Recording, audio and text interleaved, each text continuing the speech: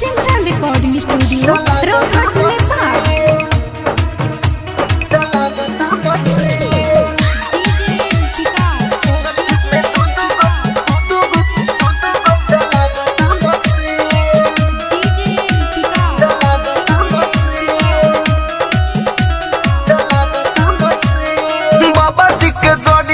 मांगे